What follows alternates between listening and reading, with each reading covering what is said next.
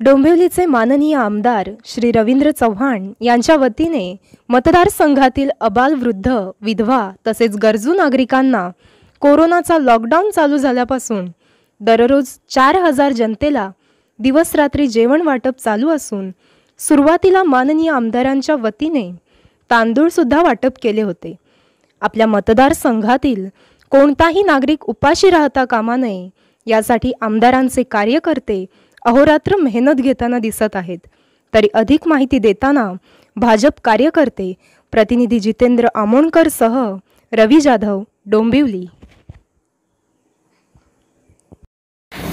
डोंबिवलीचे आमदार माननीय श्री रवींद्र चव्हाण यांच्या माध्यमातून आज हे अन्नछत्र चालवलं जात आहे आज लॉकडाऊन सुरू झाल्यापासून आज सत्तेचाळीसावा दिवस हे कार्य अविरत सुरू आहे.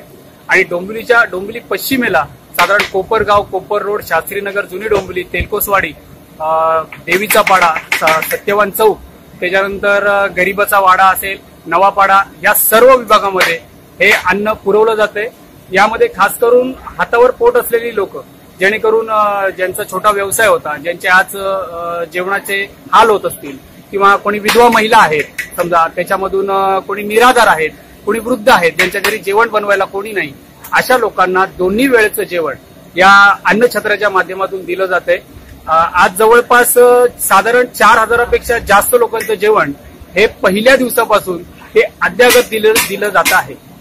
बाकीचं धान्य वाटप वगैरे आपल्या माध्यमातून साधारण अन्नछत्र सुरू होण्याच्या आधीच आपण अ, अन्नधान्य धान्य वाटप केलं होतं. ज्याच्यामध्ये आपण लोकांना घरोघरी तांदूळ दिले होते. आणि अन्नधान्य पुरवण्याच्या नंतर आपण हे अन्नछत्र सुरू केलं. जेणेकरून धान्याच्या व्यतिरिक्त त्यांना थेट जेवण मिळावं. कारण धान्य दिल्याच्या नंतर त्यांना बाकीच्या गोष्टी विकत घ्याव्या लागतात. जसं तुम्ही जर धान्य दिलं तर त्याच्यामध्ये त्यांना तेल घेणं आहे बाकीच्या गोष्टी आहेत. मग त्यापेक्षा आपण थेट त्यांना जेवण देऊ या संकल्पनेतून आपण हा अन्नचक्र सुरू केला. महाराष्ट्र माझा या चॅनलच्या माध्यमातून मी समस्त डोंबिवलीकरांना आमदार रवींद्र चव्हाण यांच्या वतीने एक विनंती करत आहे की आपल्यासाठी आम्ही लोक रस्त्यावर आहोत आम्ही आपल्यासाठी काम करू. परंतु आपण सर्वांना जर कोरोनावर मात करायची असेल तर यासाठी एक मात्र उपाय म्हणजे आपण घरी राहणे. आपण जर घरी राहाल तरच आपलं कुटुंब सुरक्षित राहील आपलं शहर सुरक्षित राहील आणि आपला देश सुरक्षित राहील.